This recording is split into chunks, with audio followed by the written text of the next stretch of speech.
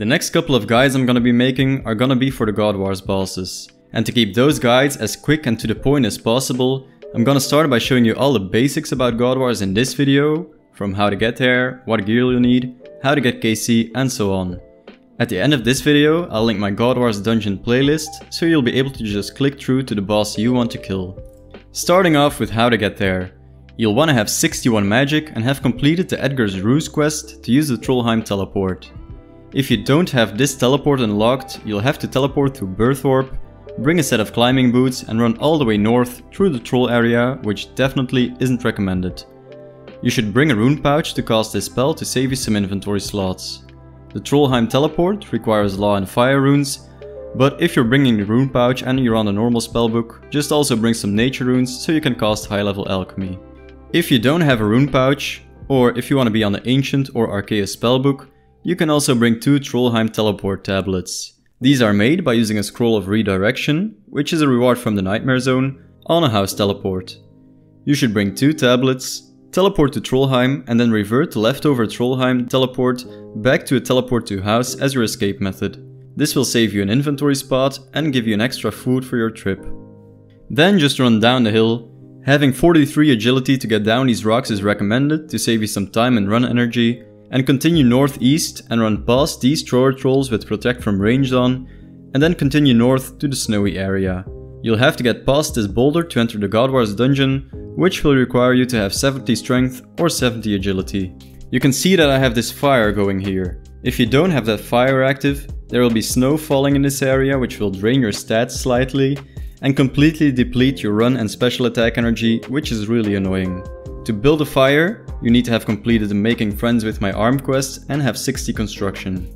Then just come here with the materials that are on screen now to light the fire.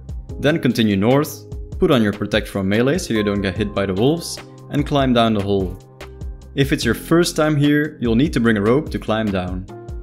So now we are in the main area, and there will be monsters that worship all four gods here.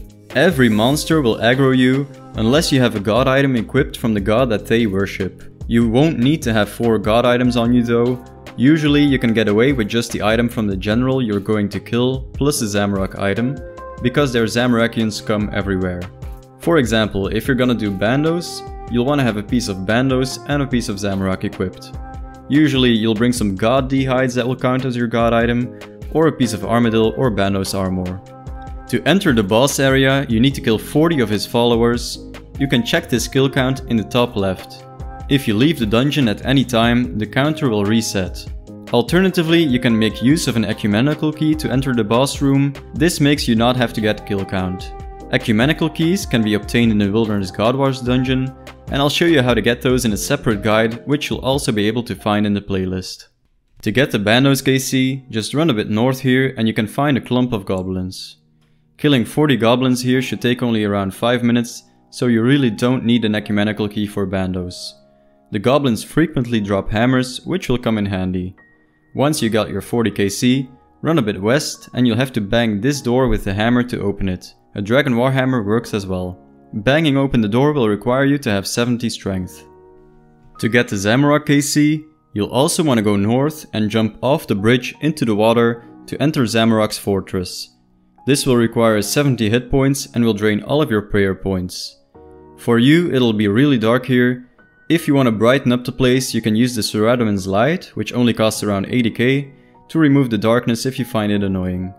You'll find 4 imp spawns, so just kill these 10 times while running in circles, and you should have your 40 KC in about 5 minutes, so also no ecumenical key recommended for Zamorak. To get the Saradomin KC, run east towards Saradomin's encampment. If it's your first time entering, you'll need to bring 2 ropes. Use the rope descent here, which will require 70 agility. Here you can kill spiritual mages, these require 83 slayer to kill. If you don't have this high of a slayer level, you can also just kill any of the other Saradomin creatures, but killing the mages would be the best option just for the off chance you get some free dragon boots as a drop. But since all of Saradomin's followers are such high level, you really want to bring an ecumenical key here so you don't waste resources getting KC. Then just tie your second rope to lower down even further and you've made it to the boss. If you're going to kill Commander Zilyana for the first time, you really should come here with your two ropes, attach them and teleport back to get two more pots from the bank, so you have a full inventory of resources for the fight. To get the Armadyl KC, run straight down south and shoot a Mithril Grapple with your crossbow to enter Armadyl's Eyrie. This will require you to have 70 ranged. After you cross, you can get extra Mithril Grapples from this crate and it could be useful for Iron Man to stack up on grapples here, so you can drop your Mithril Grapple every trip. Then you want to kill Aviansies here to get your 40 KC, try to focus on the lowest level Aviansies. But again, killing these Aviansies will waste your supplies because they're quite a high level, so it's definitely recommended to use ecumenical keys here as well. When you kill any of the 4 bosses for the first time, you'll be guaranteed to receive a key fragment. If you collect the key fragments from all 4 generals, you will be able to combine them into a frozen key, with which you can open the door to the south to unlock the ancient prison, and here you can find Nex. The monsters here all follow the Forgotten God Zaros, and you'll need an ancient or Zaros item to not take aggro. You also have to get 40 KC to enter Nex's room. I get this by killing some of the spiritual mages. These spiritual mages give you 5 to 6 KC per kill, so you'll only need to kill about 8 of them. Then you can open the door to the east, and here you can find a bank. So when you're doing Nex, you can just stay in the dungeon and you don't have to keep getting KC for every new trip. Now I just want to briefly touch on some extra things that'll help you out doing God Wars. Completing the Kandarin Hard Diary will give you a 10% increased chance to proc Enchanted Bolt's special effects. So if you're gonna be using a crossbow to kill the boss, this will give you some great extra DPS. Every boss is accompanied by 3 minions, so for every boss kill, you'll get 4 sets of bones. Having Bones to Peaches tablets will allow you to transform the bones to peaches, which will heal for an extra 32 health per boss kill. You don't need to have unlocked the spell in the mage training arena to use the tablets, unless you're an Iron Man. You should bring some tablets to every God Wars boss to extend your trips. When doing God Wars, it's highly recommended to make use of the Ancient or Arceuus spellbook. With 92 magic and the completion of Desert Treasure, you can cast Blood Barrage. After you kill the boss, try to stack up the 3 minions and Blood Barrage them to get some health back. This will usually get you back to full health, greatly increasing the amount of kills per trip. If you don't want to use Blood Barrage, you can also use the Arceuus spellbook to summon skeletons. The skeletons attack with ranged, with a max hit of only 3, but they ignore all the defense bonuses from the monster they're attacking. So these will constantly be dealing small bits of chip damage which really add up a lot and is definitely worth bringing here. In every boss room you can find an altar you can pray to every 10 minutes to restore your prayer, so try to make the best use of this to extend your trips. You can also right click this altar to teleport out of the room and you'll end up right at the entrance to the boss.